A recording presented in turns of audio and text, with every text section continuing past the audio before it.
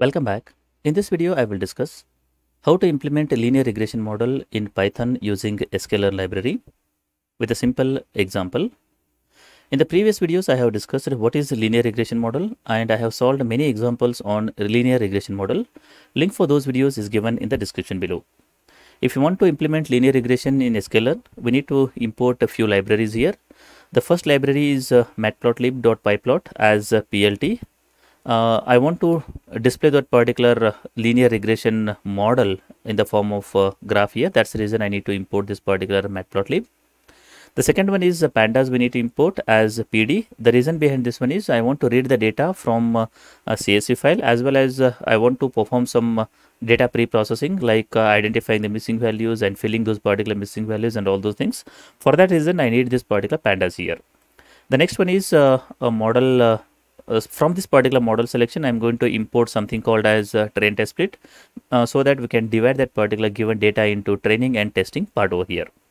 The last very important uh, library is uh, from sklearn.linear model we need to import linear regression. That is the model what i am going to uh, implement in this particular example here. Now once you import all these particular libraries the next thing is to load the given data set. That can be done with the help of this particular line. Df is the data frame which is equivalent to pd dot read underscore csv. This is uh, the function coming from pandas. I'm going to pass the location of that particular file here. The file name is linear.csv and it is present under data folder. So I will pass this particular path. The data will be read into this particular data frame. Next, I have displayed first five examples with the help of a head function here. That is df.head will display the first five examples from the given data set here. Now, if you look at this particular data set, uh, it has two features. One is known as x, another one is known as y here. x is an independent variable and y is a dependent variable here. And one more thing you can notice here, this particular data contains some examples uh, NaN. The meaning of this one is uh, there are some missing values are there in this particular given data set. So what we need to do is we need to identify the missing values and then we need to either uh, remove that particular data or we need to impute some uh, values in this particular missing uh, values place. So before we do that particular thing like uh, removing the missing values or imputing some values, first we will try to see the shape of that particular data with the help of shape function. df.shape will return you 102 comma 2 the meaning of this one is there are 102 examples are there and two features are there or you can say that the input variables Next, we want to know whether there are some missing values are there that can be done with the help of this particular function that is known as isNull. It will return you either true or false the if there are missing values are there. Uh, right now, I want to count how many number of missing values are there. That's the reason I'm using dot sum function here. And if you look at the result, uh, x returning 0 and y returning 8 here, the meaning of this one is the feature x does not have any missing values, but y has 8 missing values in this case. Now the question is uh, how to handle this particular missing values there are some different things you can do. Like uh, you can remove that particular example completely. For example uh, you can remove this particular complete example. That's one possibility over here. Or else what we can do here is uh, at this particular missing value place. You can impute some values. Like you can add some uh, average or you can say that the mean of this particular column or mean median or you can say that the mode you can add it over here. That is what is called as a imputing uh, right now what I'm doing here is I'm going to remove that particular example with the help of drop NA function. So df is equal to df dot uh, drop NA. The meaning of this one is the entire example will be removed in this particular case. So once uh, the missing values are removed from the given data set, again we will see whether they were removed or not with the help of isNull function on the top of this particular df here. You can see here x is equal to 0 and y is equal to 0. The meaning of this one is uh, there are no missing values now.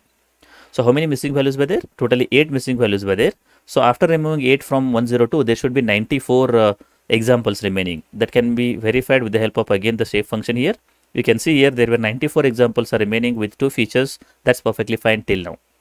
Now as said earlier, rather than removing that particular example completely, we can use fill NA function and then to this particular fill NA function we can pass some uh, parameters like mean median or mode so that the mean of that particular column will be calculated and then it will be imputed at the missing values. So that's another possibility what we have. We can use that particular method also. Just for understanding purpose what i'm doing is i'm removing that particular example completely at this particular point of time. Now, once you uh, read the data and then uh, you have done the pre-processing, next uh, is to arrange that particular data in the form of a feature matrix and then the target uh, vector over here.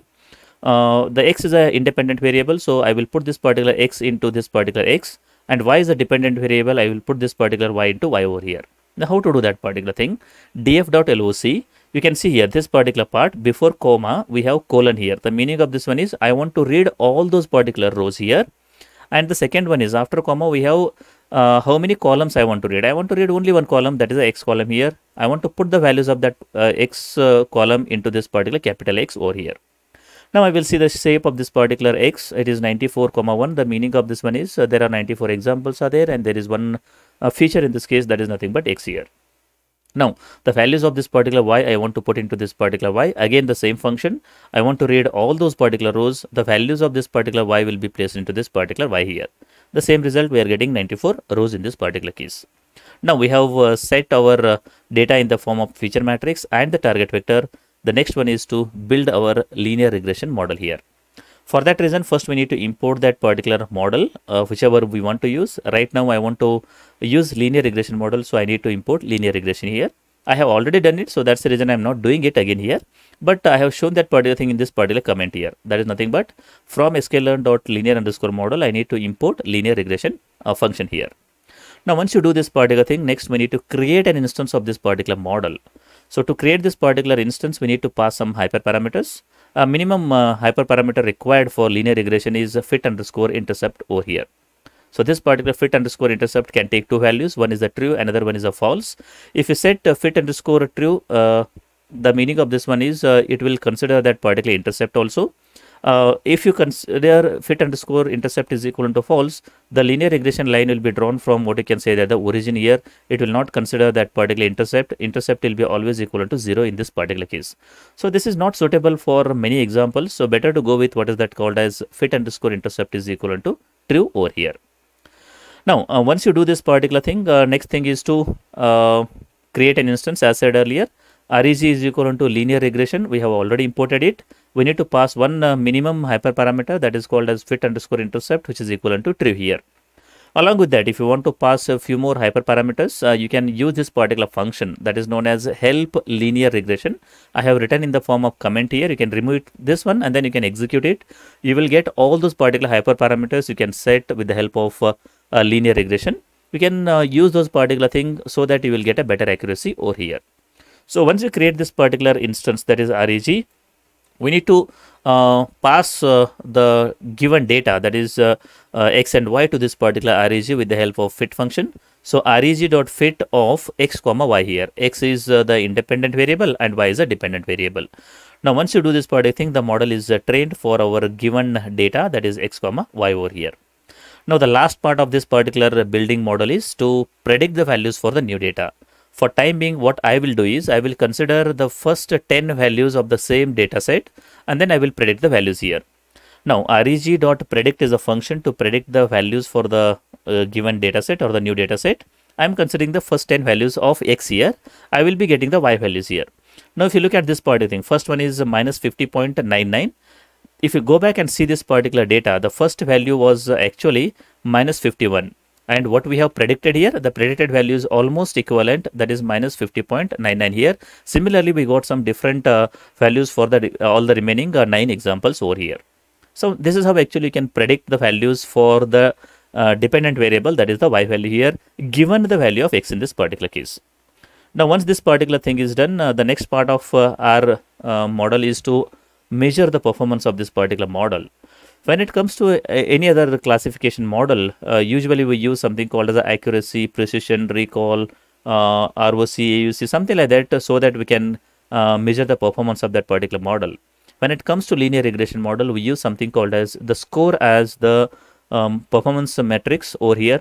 So I will calculate the score of this particular model that is reg.score x comma y in this particular case. I will be getting the score of this particular model. I will print it over here I'll be getting the value as 0.9798 that is nothing but the model is 97.98% uh, ac uh, accurate you can say in this particular case. Now uh, what we do here is we will try to print that particular equation of the linear line uh, that can be done with the help of uh, reg dot coefficient underscore so that you will be able to get that coefficient. Uh, first I will write the equation of that linear equation y is equal to mx plus b. So where b is the intercept and m is the coefficient here. So first we need to know what is the coefficient. Uh, in this case, I have been written the uh, list of you can say that the coefficients. Right now I need only one. If it's a multinomial linear regression in that case I need to have multiple number of coefficients over there. So right now it is a single uh, coefficient uh, that is written in this particular list here. Similarly I need to know this particular intercept that can be obtained with the help of reg intercept underscore over here.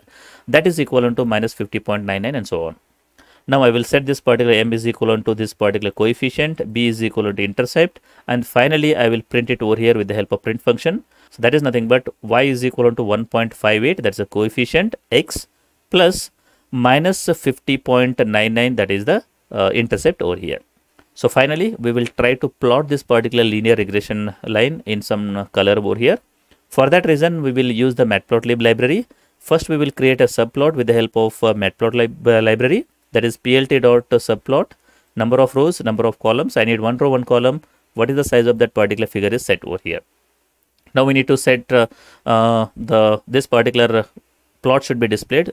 So for that reason first i will use ax dot scatter. This particular ax dot scatter i want to draw the scatter plot. X is on x-axis y is on y-axis the data will be displayed in the form of black color here. Now you can see a dot dot dot whatever the things are there they will be printed in the form of scatter plot over here now the second thing is x dot plot x comma reg predict of x uh, color is equal to red and line width is equal to 3. The meaning of this one is uh, the x will be same and the predicted values will be uh, this one reg dot predict of this particular x uh, that will be printed in this particular line. The color of that particular line is red and the line width is equal to 3 here. That is what has been printed over here. Now I want to print this particular grids. That's the reason I'm using ax dot grid the I want to print it. That's the reason it is true.